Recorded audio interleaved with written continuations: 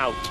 So Vettel remains in 13th position. Raikkonen in the Alfa Romeo comes across the line. He goes up to 13th. Out qualifies Sebastian Vettel. Carlos Sainz and Lando Norris basically are in a duel to see who will make it through. Norris comes across the line and remains in 10th position despite improving. The question is going to be, can his teammate Carlos Sainz beat him? He's done a good first couple of sectors, Carlos Sainz. He's found a good chunk of time.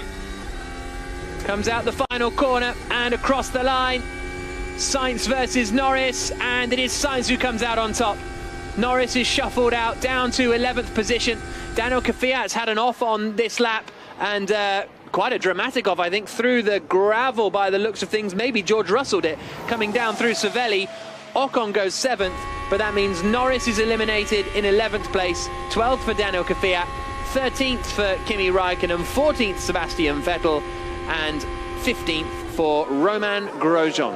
So Vettel eliminated in 14th place in Ferrari's 1000th Formula One Grand Prix. No, uh, Norris is a, a, a, shock, but I think it could have been worse for McLaren considering where their where their paces appeared to have been. A couple of tenths clear of Kvyat Raikkonen and Vettel, three cars. Kvyat then stayed level on time. He was level on time to the thousandth with Sainz.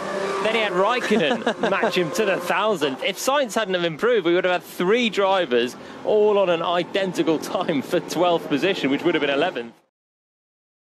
P12, Danny. Hey, okay. Uh, was tricky with the DFM 3-4, but uh, we analyzed later and uh, still can race from there tomorrow. Did the better lap? And Lando, I'm sorry we finished P11, mate. Alright, no worries. Try again tomorrow. Yeah, man, tomorrow's where, where it all counts. No singing today for Lando Norris as he returns to the pit lane.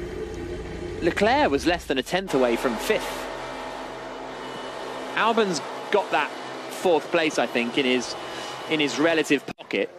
He's three tenths clear of Daniel Ricciardo. We're just seeing what happened to Kvyat, and he did rustle it, but uh, instead of being brave and flat out, he decided not to have a massive crash. I think he was a little bit wider as well than Yeah, uh, let's not accuse Daniel Kvyat of a lack of bravery here. I don't know what would happen if he hurt us.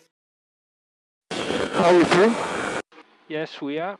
Wider than George Russell and only rejoin the track sort of on the apex of Arrabbiata 1, whereas Russell could at least open it up slightly more.